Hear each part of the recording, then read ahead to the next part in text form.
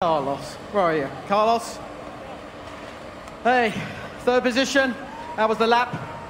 Uh, the lap for P3 was pretty good. It was on a used tire because the used tire, for some reason, this weekend is giving me a better feeling. The new tire for me is very digital, very tricky to handle, and when I went on new for the last run of Q3, I just didn't have uh, any rear grip and I struggled. So uh, for a used tire, it wasn't that bad, but uh, again, uh, Checo and Charles pipped me by a little, so it's still okay.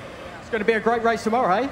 It's going to be exciting. Uh, all four cars mixed up between the Ferraris and the Red Bulls.